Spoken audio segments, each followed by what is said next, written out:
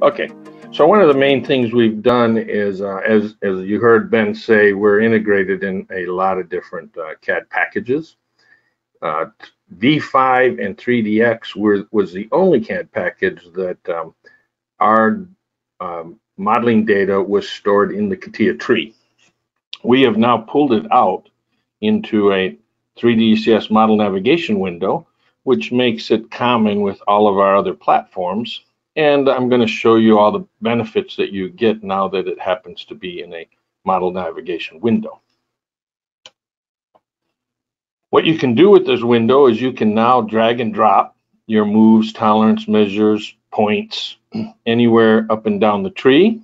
You can cut, copy, and paste. You can branch into subassemblies or into the part so you can simplify your tree and the graphics as you're trying to develop your model. I'll be showing you, for instance, you can branch into a single part and just start working on the tolerances. You can run the analysis at a subassembly level. So this, you know, helps you debug and um, and quickly get results at subassemblies as you're building your deeper model.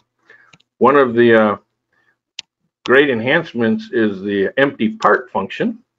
So those of you probably have done some very large models and what happens to us all the time is the customer will give us the entire model, but we only need like 10 parts in the model.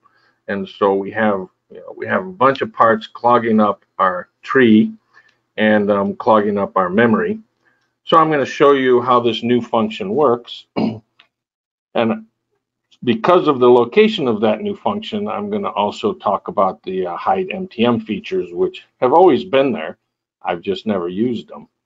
And, and then we have um, that empty part feature can remove it from the tree so that it um, doesn't make things so large and complicated. Um, and then the last thing we're going to, well, this is what actually is going to happen. So you can have a full model here. And if you click this empty part button, you can see the model navigation tree is going to hide everything that doesn't have any information. So then when you look over at this model, you can see you have some parts with no data in it and some parts with data so that when you click on that empty part button, your tree minimizes and this tree will grow as you're adding moves, tolerances, or measurements on other parts. So with that, I'm going to jump over to CATIA. And this is a model.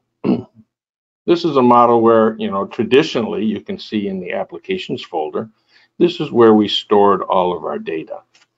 So I just had this up so you can get a, you know, a quick visual because if I jump over here, this is the same model, but now we have this model navigation and there's no more data in the application tree.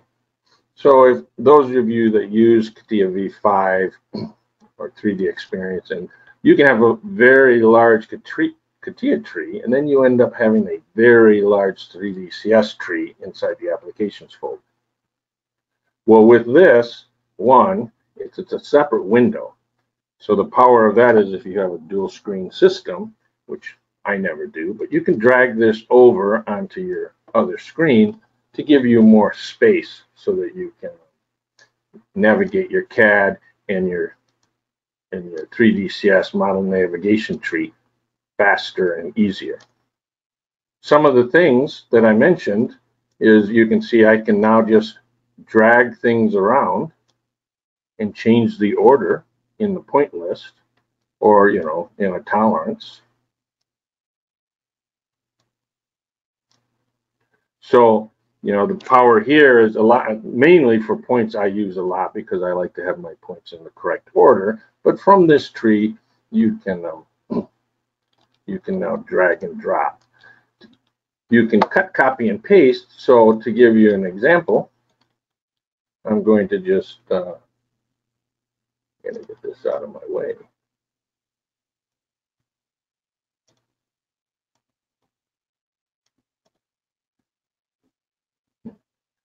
If I if I say you know fast point, and I throw a point right here,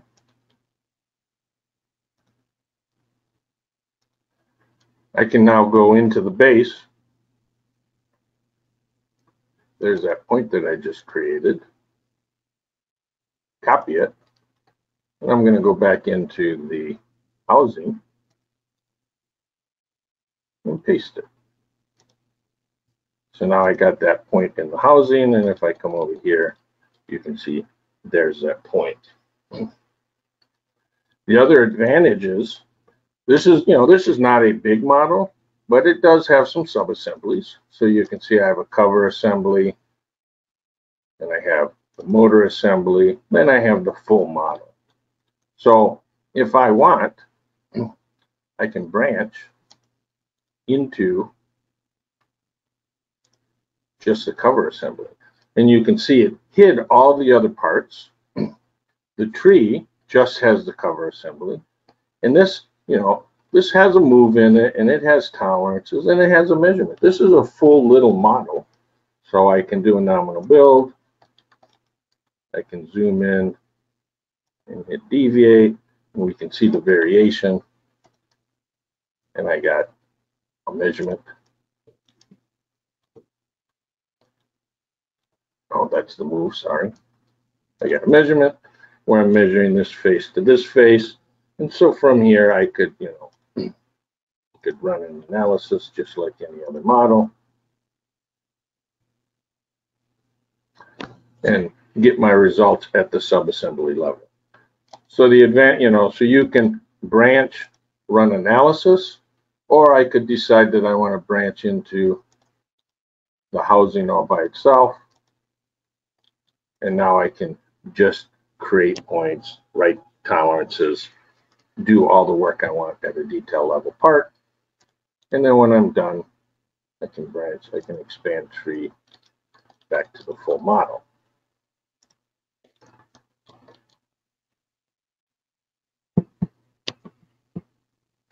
So to give you an example, with this new model navigation, we have all these buttons up here. This is the empty part button. So we added this for those of you that um, were working with the old CATIA version, you didn't have the model navigation anyway. But with this, you now get all these buttons. And so I can actually click on this button and it will hide all the points in the tree. If I Click on this button, it hides the GD&T in the tree. This button here is to hide empty parts. Well, this model is complete. So all the parts are used. So when I hit hide parts, nothing happens. So what I'm going to do is I'm going to jump over to NX And I'm going to open up this model here. Go to 3DCS update model. Now, if I hit empty part,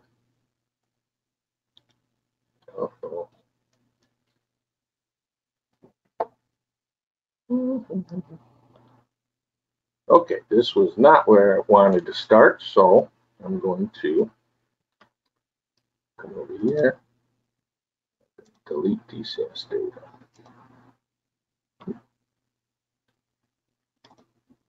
Update model. Now you can see I must have been working on this model and got more done on it than I wanted to, but now I opened up this model, there's no 3DCS data. So when you see this checked, all I'm seeing is the assembly. If I uncheck it, I can see the full tree, but there's no data in the tree. So this is the example of this. This model could have 500 parts in it. And if you say empty part, it will list only the parts that are being currently used in the 3DCS model. And to give you an example, I'm going to go ahead and say extract GD&T, pick this part. Now, when I come here I see just the base because it has GD&T in it.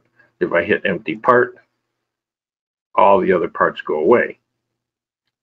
If I come in here and, uh, well, if I if I extract all the moves, then then all the parts will be here because features on them are used. So the idea with this empty part function is one, you can get uh, extraneous data out of your model that you don't want as you're trying to build your model. And two, when you update model and save the model in from 3DCS, we're not saving all that extra data. So it will, it will increase your it will increase the speed of update model and it will increase your saving speed and it will utilize less data because we'll only be saving data for the parts that we're actually using.